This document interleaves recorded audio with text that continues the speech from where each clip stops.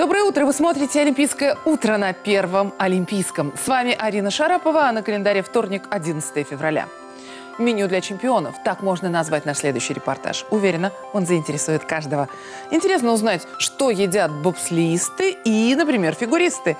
И почему им нужна У нас в разная гостях легендарный хоккеист, заслуженный мастер спорта, заслуженный тренер СССР Владимир Владимирович Юрзинов. Доброе утро, Владимир. Вы позволите к вам так? Доброе утро, Арина. Да, Позволю. Итак, 13 февраля, наша первая игра со Словенией. Ваши ощущения по поводу именно этой игры? Я, откровенно говоря, вообще не сомневаюсь. Ну, во-первых, дома. Во-вторых, хороший состав. Он вобрал в себя и наших прославленных лучших звезд, и очень хорошая молодежь. Тихонов, и Анисимов, и Тарасенко, и Воинов. Там целая группа таких молодых, талантливых ребят. И мощный тренерский состав. И потом я знаю же многих игроков этих, я с ними работал со многими. Я могу сказать, что для них слово «страна», «родина» — это непростые слова. 15 февраля а, одна из самых трудных игр, а, игра с США. Вот э, до 15 они должны еще больше сконцентрироваться, да? Ну, здесь вы понимаете, здесь и сконцентрироваться, и где здесь надо отдохнуть, здесь, и где там надо вот так вот настроиться.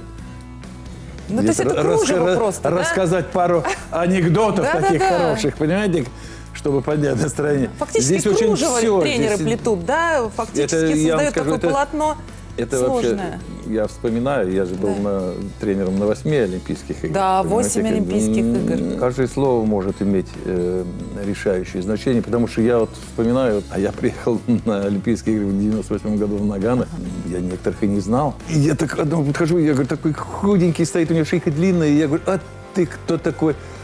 Он говорит, я Леша Морозов. Морозов.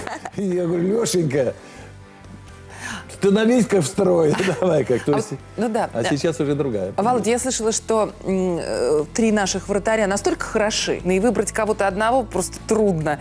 Это так? Совершенно верно. Я вам скажу, что и Варламов, и Бобровский, ну и, и Еременко. Это я вам скажу, что это очень надежный, очень сильный и парень с характером, с таким, и отличный вратарь. 13 февраля. Первый канал транслирует э, женский хоккей. Россия-Швеция. Ваше отношение к женскому хоккею? Ну, я уверен в наших де- девчонках, потому что там сейчас генеральный менеджер Леша Яшин. Да. с которым я уже лет 20 с лишним работаю вместе, и тренировочный, и все, понимаете? Он мне говорит, Владимир Владимирович, я говорю, чего, Леша? Беда, говорит, у нас в женском хоккее. Я говорю, Девчонки «Что такое?» плюшки взяли. И я говорю, что такое, Леша? А он говорит, у нас, говорит, вратарь, говорит, хочет рожать. И играть не будет на. Олимпийских играх. Вот представляете? И что? он так такой расстроенный.